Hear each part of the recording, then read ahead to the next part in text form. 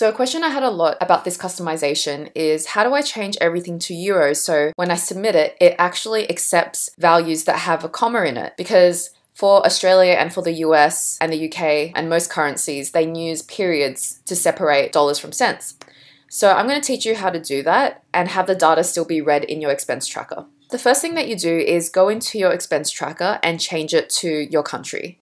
So go to File, Spreadsheet Settings, and then go and change it. Let's change it to Italy. Save settings. And it's going to do a little refresh. And then when you go to the main dashboard, you can actually see that these have turned from periods to commas there. Let's change it to euros.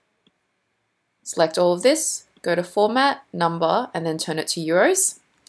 So that's looking good right now. But the main problem is when you go to your expenses form, if you submit a date and then you go like something like bread, when you put the answer in, like 399, it says must be a number because it doesn't read a comma as a number. It only reads periods.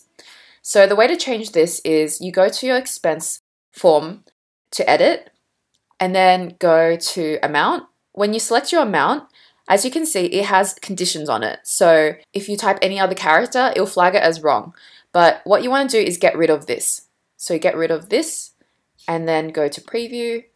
And then now you can actually put things with commas in them. So you go bread again and then go 3 comma 99 and it doesn't flag it as being wrong anymore. So we can choose category 1 and then submit and then when we go back to our income tracker, then go to here.